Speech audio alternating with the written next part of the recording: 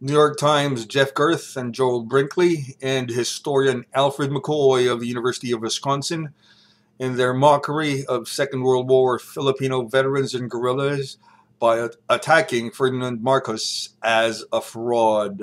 Dear Jeff Gerth, on January 23, 1986, the New York Times published an article entitled Marcos's Wartime Role Discredited in U.S. Files. Mr. Gerth, you and Joel Brinkley, now deceased, were the authors of the article that reported that the U.S. Army concluded after World War II that claims by Ferdinand E. Marcos that he had led a guerrilla resistance unit, Maharlika, during the Japanese occupation of his country were fraudulent and uh, quote unquote absurd. Mr. Gerth, you cited Alfred W. McCoy, a historian who discovered documents among hundreds of thousands of others while at the National Archives researching a book on World War II in the Philippines. In short, Mr. Gerth, you and Mr. Brinkley cited Mr. McCoy, some civilians, and members of the U.S. military who insisted that Marcos did not fight the Japanese during World War II and was therefore unworthy to be called a hero.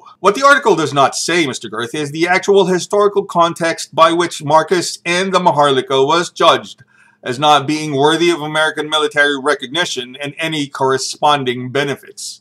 The following is the historical context of the U.S. military's denial of giving recognition and benefits to Marcos and men like him during the Second World War in the Pacific. From December 1941 until its end in 1945, U.S. President Franklin Delano Roosevelt promised Filipinos who fought the Japanese that they would receive U.S. citizenship and full benefits as part of the American military. By 1946, however, Roosevelt's successor, President Harry Truman, broke the American promise with the Rescission Act of 1946, when the U.S. Congress declared services in the Philippine Commonwealth Army or authorized guerrilla units were not to be considered as active military service for the purposes of veterans' benefits. As a result, out of an estimated 200,000 Filipino World War II veterans and fighters and guerrillas, only 4,000 Filipinos, or, or about 2%, were recognized by the U.S. military and given benefits. That left more than 196,000 Filipino World War II fighters without the promised benefits from the Americans. Included in the 196,000 were Marcos and the Maharlika men. That means Marcos and the Maharlika men belong to the 98% of World War II Filipino veterans who asked for benefits but never received them. Mr. Gerth, it would be absurd to even consider that only 4,000 Filipinos helped the U.S. military to win the war against the Japanese in the Pacific. What makes this worse, Mr. Gerth, out of the 66 countries allied with the United States in World War II, only Filipinos were denied benefits. My argument seems like a non sequitur argument. However, more historical facts show the real context of the U.S. military denying benefits to World War II Filipino fighters, such as Marcos. For instance, let's take the context of the New York Times article in January 23, 1986, when you, Mr. Gerth, and Mr. Brinkley cited Alfred McCoy, who wrote about Marcos and his medals. At that time, World War II Filipino veterans in 1986 had already been waiting for almost 40 years to be recognized and given the promised benefits. Thus, in truth, Mr. Gerth, you, Mr. Brinkley, and Alfred McCoy were not revealing Marcos' fraud, but was actually reaffirming how the U.S. government denied an estimated 196,000 World War II Filipino veterans their benefits. Mr. Gerth, this is tantamount to you, Mr. Brinkley, and Alfred McCoy giving the World War II Filipino vets the finger, like Truman did in 1946. And the best way to do it was to treat Ferdinand Marcos as an American bitch by saying he was a fraud, and then using bullying tactics by printing articles against Marcos and 196,000 other Filipino fighters. Mr. Gerth, if you, Mr. Brinkley, Mr. McCoy, not to mention President Truman and other U.S. military officials can treat a World War II Filipino veteran like Marcos this way, think of what Americans like you can do to 196 other World War II Filipino veterans who cannot speak out for themselves. Mr. Gerth, it was not until four years later, after the publication of your article, or a total of 44 years later, in 1990, with the Immigration Act under U.S. President George H.W. Bush, the Filipinos were granted American citizenship. The same Immigration Act, ironically, denying Filipino veterans any other benefits except Social Security. which was a supplemental security income or SSI.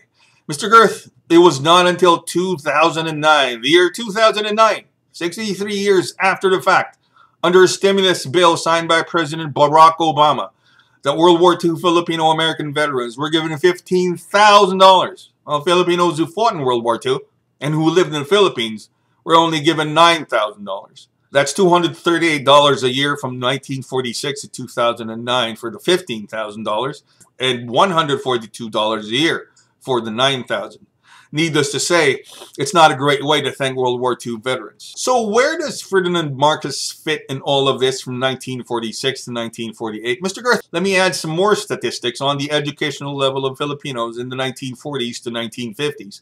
In 1940, the Philippines had an adult literacy rate of about 50%. By 1950, literacy rate for Filipino adults rose to about 62%. If we place the literacy rate of Filipinos in 1947 at about 56%, out of the 196,000 World War II Filipino veterans, an estimated 109,760 World War II Filipino veterans and guerrilla fighters were illiterate.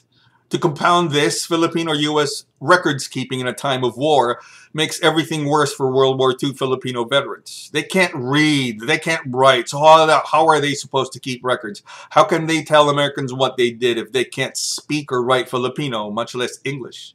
Therefore, Mr. Gerth, Ferdinand Marcos, and the Maharlika was just the tip of the proverbial iceberg of World War II Filipino war veterans who were denied military benefits by the U.S. government. This shows that American decision makers, from Truman to U.S. military officials, can ignore highly educated lawyers like Marcos and the other 196,000 Filipino World War II fighters. Thus, the U.S. military officials can also ignore more than 109,000 illiterate and uneducated World War II Filipino fighters who cannot read, speak, or provide evidence as to how they fought the Japanese and helped win the war who were the more than 109,000 literate and uneducated World War II Filipino fighters. Mr. Gerth, these are the men, women, and children who helped both Filipino and American fighters. They brought them food, spied for them, cared for their wounds, hid them from marauding Japanese soldiers, created a supply lines and intelligence network that could only be made possible by the local Filipino residents' knowledge of the land and terrain. More than 109,000 illiterate and uneducated World War II Filipino fighters will never be heard, will never be known, will never be treated as heroes because they could not write, read, much less speak or document their exploits in Filipino or English. If the U.S. military can ignore the likes of educated Marcos and his men in 1946, it reveals that the U.S. military can also forget more than 109,000 illiterate and uneducated World War II Filipino fighters who will never be able to have their say.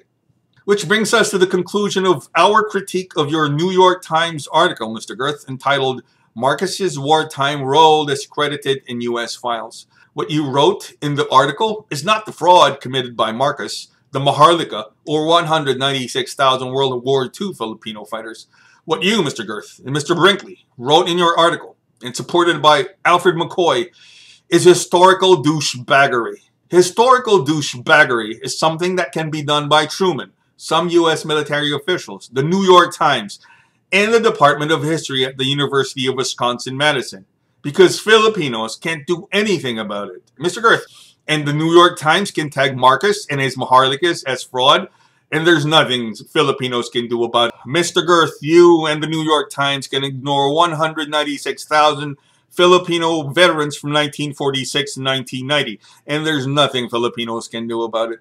Mr. Gerth, you and the New York Times can continue to be historical douchebags against World War II Filipino veterans, and there's nothing Filipinos can do about it. Historical douchebaggery is something you can do at the New York Times, at the Department of History at the University of Wisconsin and there's nothing we can do about it. Until now.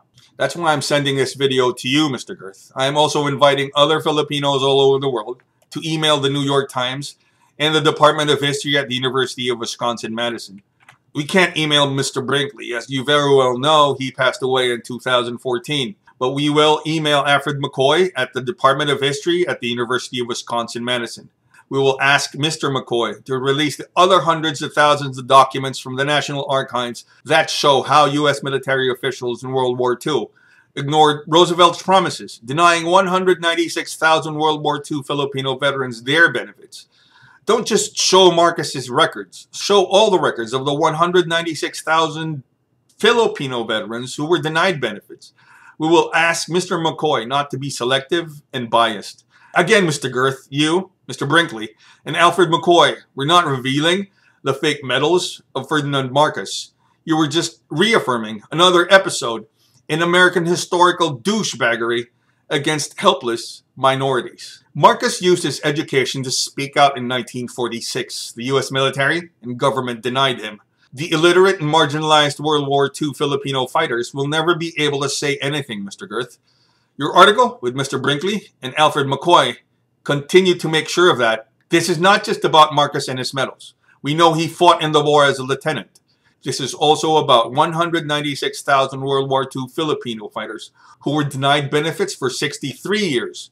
And Marcos and the Maharlika is just the tip of the iceberg of American historical douchebaggery. Mr. Gerth, with the New York Times article about Marcos, douchebags like Harry Truman, Captain Elbert Curtis, you, Joel Brinkley, with backup from historian Alfred McCoy, are basically saying we did it with the African American slaves. We did it with the Chinese railroad workers. We did it with Indian scouts, and we continue to do it with World War II Filipino war veterans. Historical douchebaggery is something we can do at the New York Times and at the Department of History at the University of Wisconsin Madison.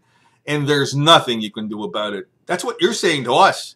This is the real message of New York Times Jeff Gerth and Joel Brinkley. You did not prove Marcos was a fraud. Mr. Gerth, you, Mr. Brinkley, and Alfred McCoy just reaffirmed American historical douchebaggery. That's a side note. Do you know what's so ironical about the American denial of benefits for Marcos and his men in 1948? When you published your article in 1983, Marcos was the most instrumental Southeast Asian leader in fighting communism in Asia as an American ally.